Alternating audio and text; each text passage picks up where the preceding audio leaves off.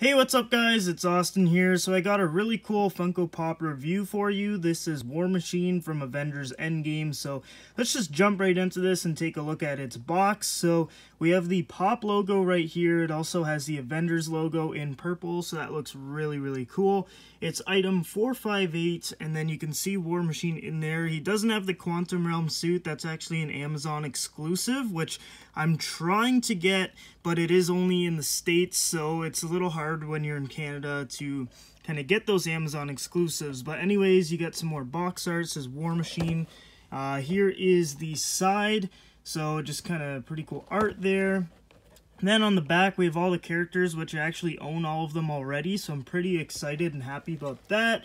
Then it says War Machine on the side. There is the top, and there is the bottom. Now let's go ahead and take them out. Alright guys, so here is War Machine. Now this thing looks awesome. This is actually the first War Machine that I actually own.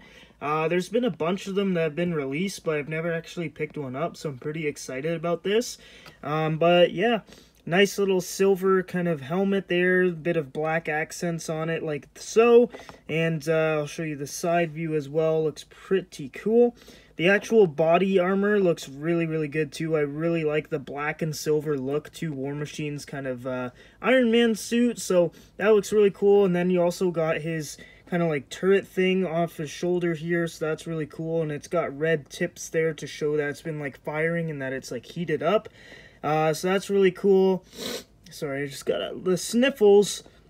And uh, it says 900 on the leg here, so that's pretty cool. I don't really know what that's standing for, but uh, yeah, you got a little like star here on the leg.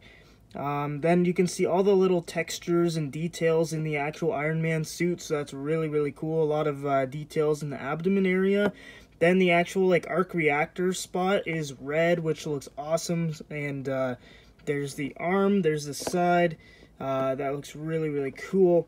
And then the back, of course, lots of great detail again. I just really love the colors on War Machine. War Machine's always been one of my favorite kind of like Iron Man armors because it just looks really, really cool. Like a really like stealthy, like badass looking color. Black and silver looks really, really cool. And I really love the character of Rhodey. How he's like a military guy, but then he also does like vigilante stuff with Iron Man. So that's really, really cool. I really like this pop, and I'm definitely going to try to get the Amazon exclusive one in the Quantum Realm suit. So stay tuned for that if I do pick it up.